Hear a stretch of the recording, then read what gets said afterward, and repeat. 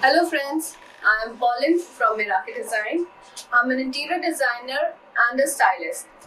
Today I'm at Ace Divino and I would like to show you around a balcony space that we have styled for Ace.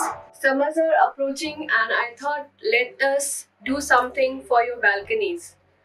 So we are in living in flats and apartments these days so much that sometimes we crave for that green corner for ourselves.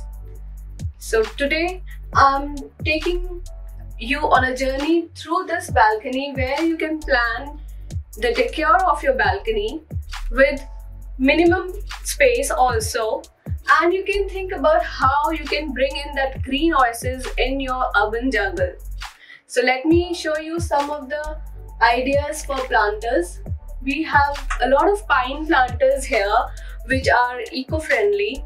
And then you can see we have used the railing part of the balcony to maximize the space utilization.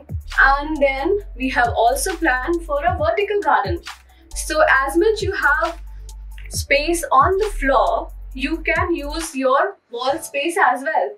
So create your garden vertically have lot of plants hanging. You can have your creepers and you can also think about doing something like a small vegetable garden also. So these days you know you have so many options available that there is no dearth of having cute planters to functional planters and the space is just apt for it Let's uh, see some of the plants that we have here in this balcony.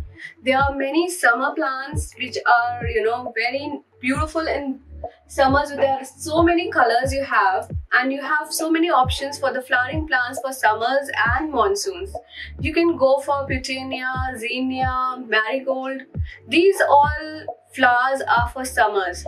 And then there are, you know, plants which are greens which are very low maintenance like the spider, jade and then you can go for syngonium, you can go for ZZ plants. These plants are very uh, low maintenance and they are uh, you know you can bring them in the rooms as well. So they don't need a lot of uh, sunlight. So you can have your you know these indoor plants which have low light requirements. Once you have decided what all you know you want to do with the planters in your balcony you can always create a corner where you would like to sit and in the evening or mornings with your cup of tea a book in hand. So you have a reading corner you can if you know put a stool or a chair or a swing if you have that space.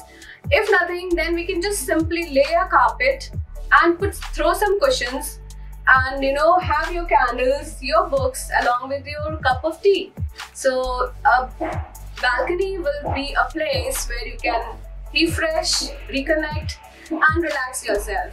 So decide how you want to do your balcony and do let us know how you like this episode on our balcony decor. And we will be uh, coming with more options in the next